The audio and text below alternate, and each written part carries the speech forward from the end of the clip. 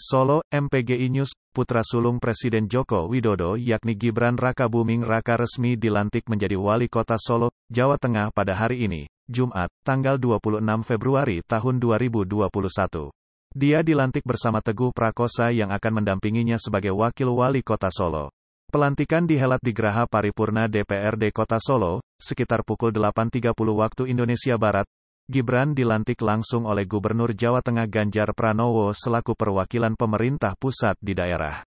Alhamdulillah pelantikan hari ini berjalan dengan lancar. Jabatan ini merupakan amanah dan akan kami manfaatkan sebaik-baiknya untuk masyarakat kota Solo, kata Gibran usai pelantikan.